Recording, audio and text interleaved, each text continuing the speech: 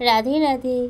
বন্ধুরা, আপনারা জানেন, আমাদের মৃত্যুর পর একটি ভয়ঙ্কর নদী পার হতে হয়, যে নদীর জল সবসময় টকবক করে ফুটছে। আজকের ভিডিওতে আমরা জানব বৈতরণী নদীর কথা। আমরা জানব মৃত্যুর পরবর্তী অনেক অজানা ভয়ঙ্কর তথ্য। আমাদের মৃত্যুর পর যে নদী পার হতে হয়, সেই নদীটির নাম বৈতরণী নদী। বৈতরণী নদীর সম্পর্কে গরুর পুরাণে বলা হয়েছে মৃত্যুর পর জীবাত্মাকে বৈতরণী নদী পার করতে হয়। পাপি আত্মা দেখলেই এই নদীর জল টকবক করে ফুটতে থাকে। হিংস্র জীবজন্তু তার ভয়ঙ্কর রূপ নিয়ে সেই পাপি আত্মাকে খাবারের জন্য অধীর আগ্রহে থাকে।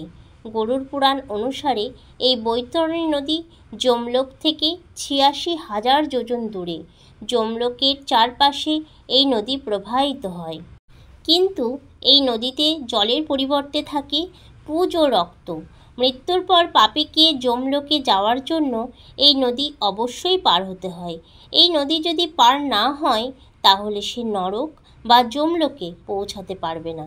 এই নদীতে ঘুরে বেড়ায় ভয়ঙ্কর সব পোকামাকড়, কুমির, শকুন ও অন্যান্য হিংস্র জীবজন্তু। এই বৈতরণী নদী পার করতে কাদের কষ্ট হয়? গরুর পুরাণে বলা হয়েছে, বৈতরণী নদী পার করতে যে সারা জীবন ধরে পাপ কার্য করে এসেছে, কখনো কোনো পূর্ণ কাজ করেনি। যমদূতরা যখন পাপি আত্মাকে বৈতরণী নদী পার করায়, তখন সেই নদী টকবক করে ফুটতে থাকে। যে ব্যক্তি জীবনে ভালো কাজ করেনি, ভগবান শ্রীকৃষ্ণের নাম গুণকীর্তন করেনি, ভগবানের মন্দিরে যায়নি, ভগবান দর্শন করে প্রণাম করেনি। সেই পাপী ব্যক্তিকে এই বৈতরণী নদী পার করতে অনেক কষ্ট করতে হয়। তারপর আঠেরো দিনের পর এই আত্মারা যমনগরীতে পৌঁছায়।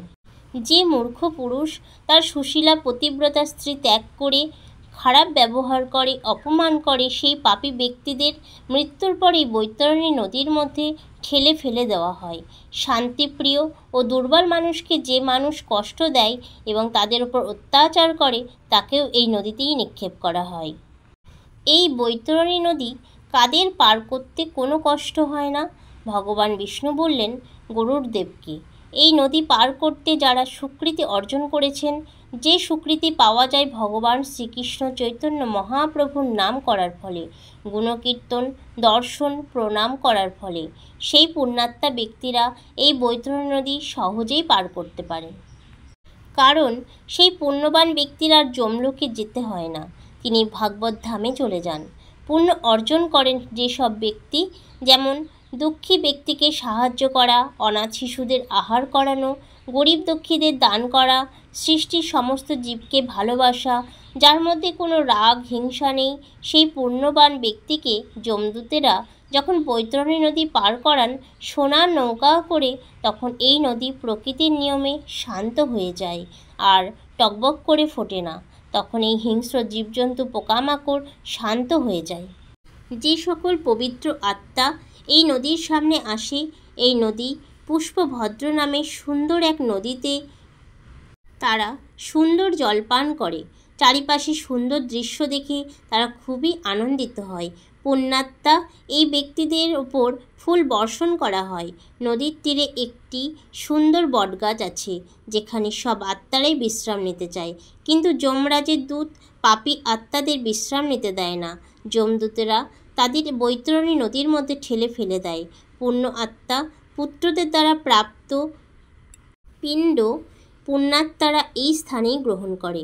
আর এই স্থান থেকেই পুণ্যাত্মারা এগিয়ে যায়। এইভাবে যমলোকে যাওয়ার আগে এই দুটি নদী পার হতে হয়, তবেই আত্মা মুক্তি পায়।